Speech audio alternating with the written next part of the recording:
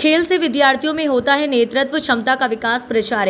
शासकीय CM rice विद्यालय बदरवास में साप्ताहिक खेल गतिविधियों का आयोजन किया गया, जिसमें कबड्डी खो खो वॉलीबॉल, गोला, फेंक, दौड़, बैडमिंटन, शतरंज आदि खेलों में विद्यार्थियों ने बड़े ही उत्साह के साथ भाग लिया और अपने खेल कौशल का प्रदर्शन किया। सर्वप्रथम विद्यालय के प्राचार्य महेंद्र गुप्ता, राकेश शर्मा आदि शिक्षकों ने माँ सरस्वती का पूजन कर कार्यक्रम का शुभारंभ किया। खेल प्रतियोगिता की शुरुआत में विद्यालय के शिक्षकों ने खेल प्रतिभागियों से हाथ मिलाकर उनका उत्साहवर्धन किया। इस अवसर पर विद्यालय के प्राचार्य महेंद्र गुप्ता ने खिलाड़ियों से कहा कि सभी प्रकार की खेल गतिविधियों में शामिल होना प्रत्येक व्यक्ति के लिए अनेक प्रकार से लाभदायक होता है। खेल विद्यार्थियों के शारीरिक तथा मानसिक विकास में सहायक होते हैं।